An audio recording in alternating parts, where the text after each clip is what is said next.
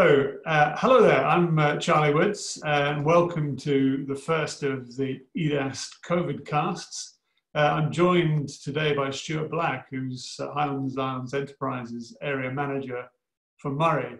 Stuart, you've been in the thick of responding to the COVID crisis. What, what role have you been playing in this? Yeah, I've been involved um, really from the uh, middle of March, um, chairing a twice weekly meeting to start with of the Moray Business Resilience Forum, which I was asked to set up by Richard Lochhead, who's the local MSP and also the Scottish Government Minister for Higher and Further Education. So that's been uh, meeting pretty regularly. We've probably had 15 or 16 meetings now.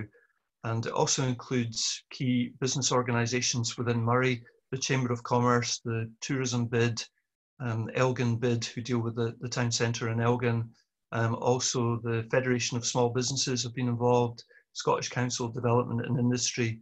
Um, Moray Council has been a key player as well, and I've been chairing it jointly with one of their senior officers. The council leader's been on the call too, along with Douglas Ross, who was the Under Secretary of State for Scotland and then resigned over the Dominic Cummings affair. So it's mm. been a very interesting process. The meetings have largely discussed um, the support available for businesses within Moray and then latterly, we've moved on to looking ahead to opportunities and, and challenges that are facing businesses. So that's been key. Right. And, and, what, and what are the key things that you've learned so far? And perhaps, you know, what surprised you most? We've also been involved latterly over the past six weeks in administering some of the government funding for uh, businesses to be supported through the, the COVID crisis, the Pivotal Enterprise Fund in particular, and also the hardship fund for tourism, hospitality, and creative industries. What, what's been interesting there is just the breadth of companies that have been looking for assistance. There's clearly a very severe economic crisis happening at, at the current time. Lots of businesses are worried about cash flow. Interestingly, in most other recessions, there's been some sort of a, a bright spot. So in the financial crash, where where lots of things stopped happening, there was still um, potential to look at markets in the Far East, for example, which were less affected by the financial crash. And Moray's quite an export oriented economy. A lot of whisky and food and drink producers like Baxter's and Walker's, Johnston's of Elgin, who are Scotland's biggest cashmere producer. So it's quite an export focused economy. And at the moment, the, the companies are saying, well, this is a global crisis. Although markets have started to come back in places like the Far East, there isn't really anywhere that's a bright spot. It's affected the whole global economy and affected every sector. Because again, back in the financial crash, there were there were sectors that were able to maintain spending and, and increase spending, and particularly things like affordable housing, councils up up their capital spend. But everybody's under pressure at the same time. All markets are affected, and you can, you can see that in the figures where we've seen recently 20% fall in, in UK GDP, the biggest ever mm-hmm. um, fall recorded. So it has been a really significant crisis. Um, and it's been a challenge because from the outset, we, we've had a lot of companies approaching for assistance in sectors that we haven't really looked at before in, in economic development. Um, a lot of uh, service related construction companies as well that generally economic development agencies don't work with. There's been huge pressure on staff to turn around applications quickly, to get information and um, communication out to businesses. So that's put people under a fair bit of pressure, working a, a lot of um, into evenings and over weekends. We've been meeting pretty much every day. We had a, an investment committee meeting which discussed between 30 and 40 investment cases and very challenging decision making having to be done quickly. But it's really shown how colleagues can step up to the mark and although we haven't been able to make um, everyone happy in terms of these grant decisions, I think we've been able to assist a, a fairly significant proportion of the businesses who come forward. Right.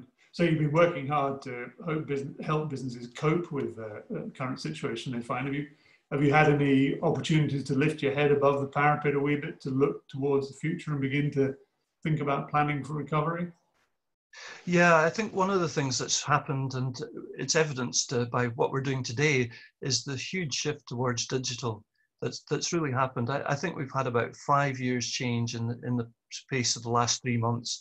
We we used we were used to working digitally and working remotely in, in Highlands and Islands, we would often ask colleagues in the Central Belt if we could do meetings on things like um, Skype. And, and quite often we were told, no, you must be here, you must be down in Edinburgh, Glasgow for nine o'clock in the morning, forgetting it took uh, three hours to get there from, from Inverness. So we've, we've made these changes, and I think they've happened in the, in the Central Belt probably faster than people would realize. But suddenly, what everyone wants to do is get online in terms of their business.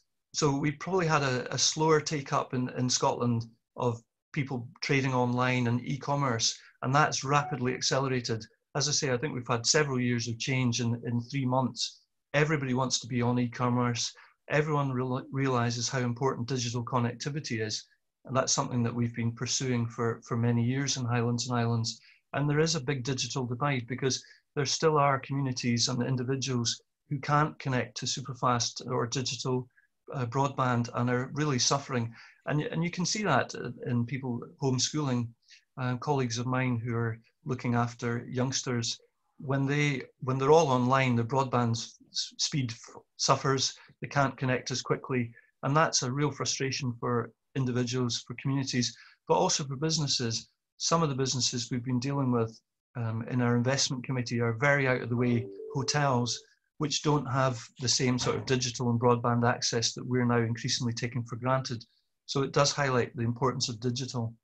I think other things that are being highlighted at the moment, maybe in a more positive way, is people's quality of life. Um, people are looking for a way they can balance home and work. And rural locations actually provide a, a really attractive uh, proposition in, in this environment because you can connect digitally. I mean, I, am sitting here today on, on Speyside. Um, I start my morning by going for a walk with the dogs down by the river. I come back, I, I work in the office. I no longer spend an hour or so a day commuting into, into an office. I can achieve an awful lot of things. There are things I miss, and I'm sure everybody's missing face to face contact um, with family and friends, but also work colleagues.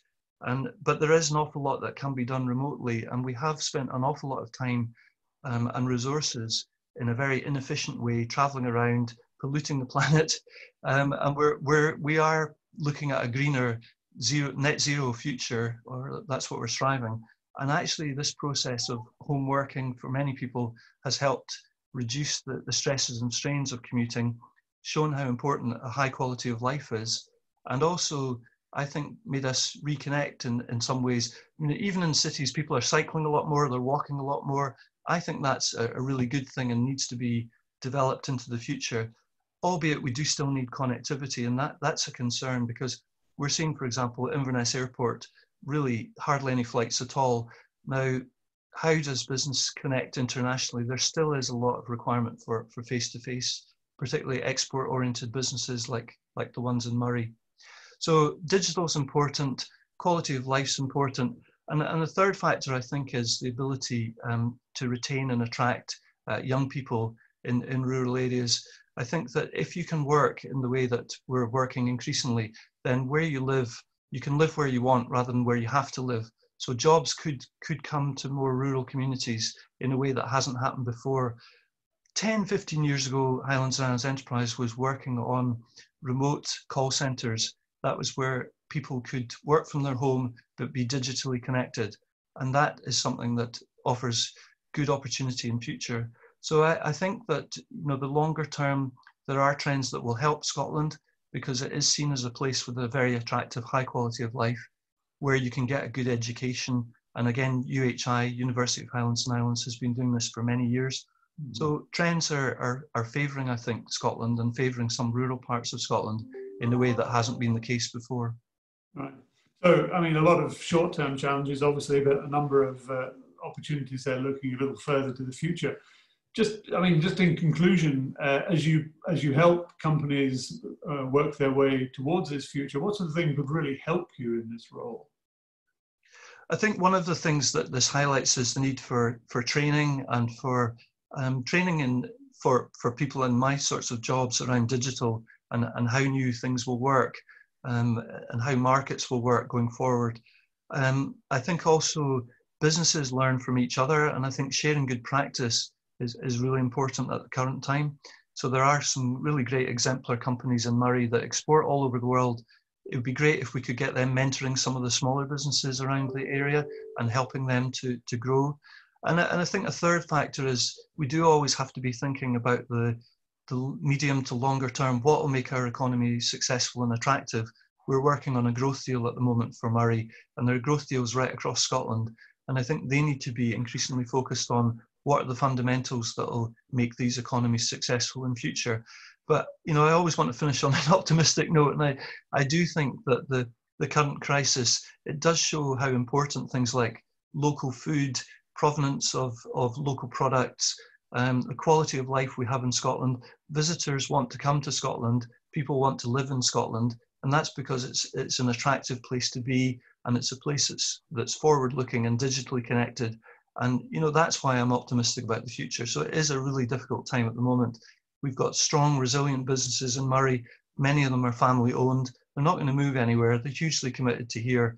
And again, I think that's something that Scotland as a whole benefits from. So it is a really challenging time at the moment. It's tough for, for businesses. Um, I, I know that businesses are really struggling and they want the public sector to help. We're trying our best to help. The reality is that the resources are not are not um, infinite, so we have tough choices to make.